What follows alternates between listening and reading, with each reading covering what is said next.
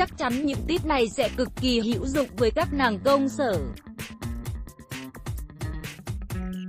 Với các nàng có chiều cao khoảng 1m50 đến 1m55, không ít người cảm thấy tự ti về chiều cao, và chỉ trung thành với những đôi giày cao gót nặng chịt chân. Nhưng nếu biết đến cô nàng blogger Chen Jun sinh năm 1995 này thì bạn sẽ có cuộc cách mạng về phong cách một cách toàn diện.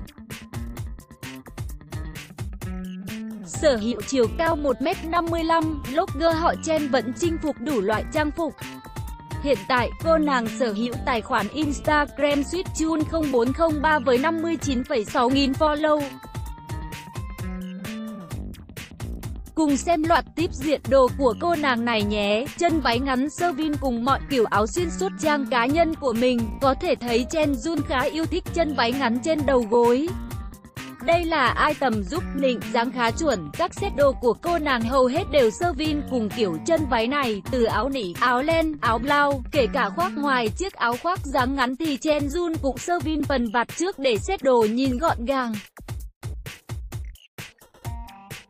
Với tip này, dù đi giày bệt hay giày cao gót cũng đều rất đẹp. Quần cặp cao chính là chân ái, với các nàng có chiều cao khiêm tốn, hãy trân trọng những chiếc quần cặp cao. Từ quần jean, quần culotte tới quần Âu dáng suông, hầu hết Chen Jun đều chọn kiểu cặp cao với gam màu sáng như trắng, be, hồng đút. Kiểu quần này giúp cân đối tỷ lệ cơ thể, giúp dáng người nhìn cao giáo thanh mảnh hơn. Diện đồ tôn sơ tần từ đầu tới chân tiếp cuối cùng đó chính là diện đồ tôn sơ tần để nói về cách mix đồ giúp dáng cao lên. Ngoài cách sơ vin hay diện đồ cặp cao thì chọn màu sắc cùng tôn là một kinh nghiệm để đời. Sở hữu dáng người nhỏ nhắn, đây chính là ưu điểm và cũng là điểm mạnh khi diện đồ màu sáng cực xinh. Hãy lưu ý chọn những gam màu đang hot trend hiện nay như be, nâu nhạt, hồng nút, trắng kem.